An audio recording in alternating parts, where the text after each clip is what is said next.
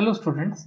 The question states that while driving along an unbanked circular road, a two-wheeler rider has to lean with the vertical. Why is it so? With what angle the driver has to lean? Derive the relevant expression. Why such a leaning is not necessary for a four-wheeler. So let us first look at the diagram.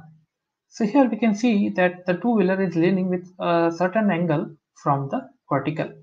Now why is it leaning?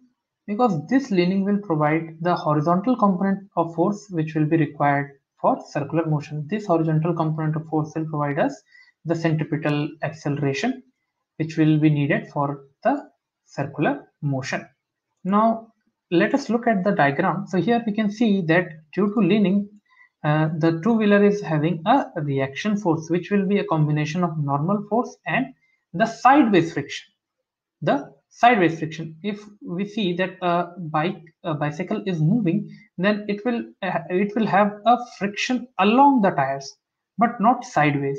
But due to leaning there will be a sideways friction which will be a combination and then there will be a reaction force which will be a combination of the normal force and the sideways friction so here we can see that the r cos theta if we resolve the reaction force then it will be r cos theta and r sin theta vertically it is r cos theta and horizontally is r sin theta.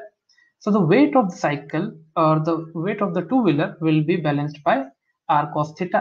And this r sin theta will provide us the uh, horizontal component, which will be the centripetal acceleration, right? Which will provide us with the centripetal acceleration.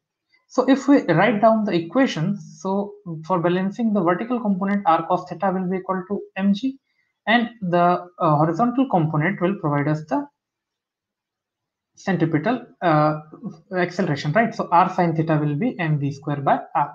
Now if we divide both the equation 1 by 2 then we get our tan theta equals to v square by rg.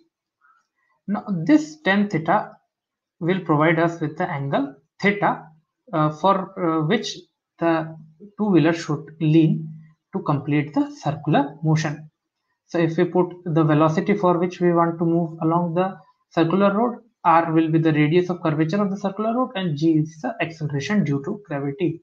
So tan of that theta, uh, that angle, tan of that angle will be given by this equation. But uh, in case of two wheelers, uh, the leaning is required. But in case of four wheelers, such leaning is not required. Why is it so? Because uh, the horizontal component of force will be provided by the force of friction between the road and tire. Therefore, such uh, leaning is not required for our four-wheelers. So I hope you understood the question and all its solution. Thank you.